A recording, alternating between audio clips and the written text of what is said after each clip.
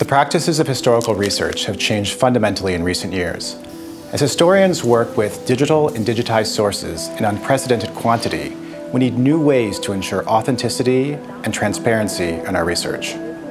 I'm Sean Takats. I'm a professor of digital history at the University of Luxembourg. I lead teams of software developers and researchers. Together, we are developing new ways for the public and scholars to access and understand the past. It's a, it's a workflow we have been uh. In the scope of a Pearl Chair at the Luxembourg National Research Fund, historian Professor Sean Takats came to Luxembourg in 2019 and built up a group of experts at the Centre for Contemporary and Digital History, an interdisciplinary research centre at the University of Luxembourg.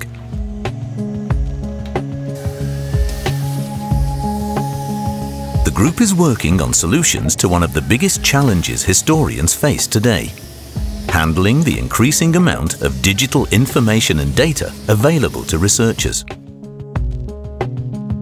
Literally millions of historical documents, images and other artifacts from all over the world have been digitized, making them accessible to new forms of analysis. If you were a researcher in an archive oh, 20 years ago, the norm was to be sitting uh, at a desk uh, reading paper documents and taking notes or transcribing on a laptop. Around 2004, 2005, people began taking digital photographs in the archives, and this completely transformed the archival experience. Researchers began accumulating thousands, even tens of thousands of photos, and it soon became clear that they needed special software for handling all these images. Sean Takats and his team saw an opportunity to create Tropy, a free tool launched in 2017. The idea for Tropy is to take these photos and put them in a piece of software that doesn't care about photos, it cares about documents. So if you photograph a document in the archives, it might be two, three, four, five, ten, a hundred pages. So you're going to have two, three, four, five, a hundred photographs. You want those collapsed into a single document. As if you were in the archive, kind of like a lightbox for those, and then you can transcribe them, you can add tags, you can organize them. Another widely used and free tool Sean Takats' team developed earlier in his career is Zotero. Over the past 15 years, Zotero has been used by millions of researchers to collect, analyze and share research. It automates many of the time-consuming aspects of research, like creating footnotes and bibliographies, and it allows researchers around the world to work together collaboratively on their computers, phones and tablets. But while Tropy and Zotero focused on the sources behind research, they did not yet try to analyze these research materials. To address this challenge, Takats' team is developing a new project within the FNR Pearl Chair called Lumi. Lumi embeds new analytical tools in a framework that records the choices researchers make so that they can remember how they created and manipulated their own research data.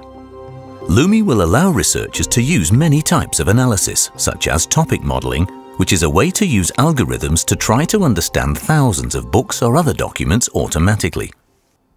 In my own research, for instance, uh, I have looked at um, Italian American immigrants' newspapers at the turn of the 20th century in the States, and I have used topic modeling to understand how immigrants were discussing the challenges of being immigrants in the United States at the time. This archive uh, that I looked at, uh, which is, uh, by the way, openly available online, it's called the ChroniclItaly, uh, contains about 16 million words. But at the core of Lumi is not just enhanced functionality, but a new concept of transparency in research. In Lumi, we're trying to do something where we want to provide authenticity and trustworthiness to the methods that are used in historical research. So if I'm transforming something, I'm creating a database, I'm doing some operations in that database, I'm collecting some documents, and I'm doing a text analysis, topic modeling of those documents, I want to be able to keep track of those methods that I am using, understand where those methods come from, and always keep them connected to the results. One key element, therefore, is that users can view the code working in the software when they perform analytical functions. We are integrating this code view functionality within the interface so that users can see what's happening behind the scenes.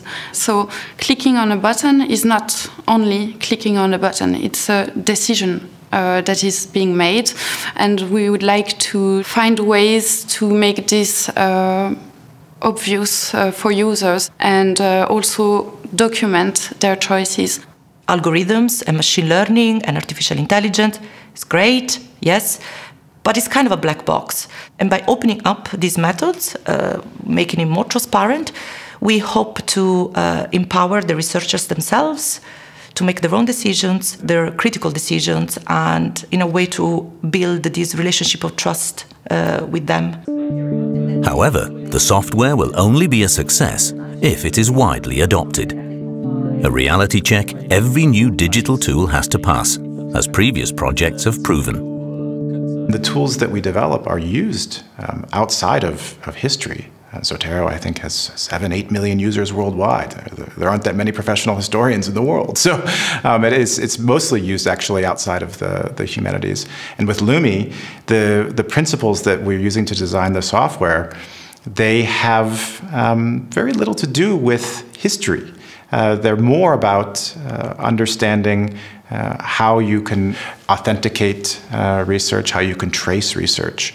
And so there's nothing in the design of the software that limits it to history or even humanities research. It's really can be used by, by anyone. By creating the next generation of digital tools, the experts at the Centre for Contemporary and Digital History are working to establish Luxembourg as a global leader in historical research and development. Through their work, the way we understand the past is being adapted to the challenges and opportunities of the 21st century.